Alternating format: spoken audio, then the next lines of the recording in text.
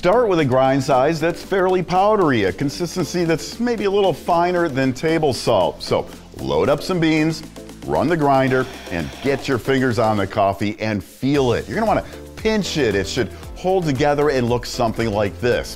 When adjusting grind finer, your grinder should always be running.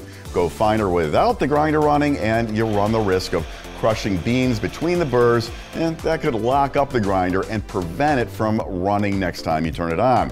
When changing grind size, it may take a few seconds for the results of your size change to make its way through the grinder, so keep that in mind. You may need to run a few seconds to purge out coffee at the previous grind size.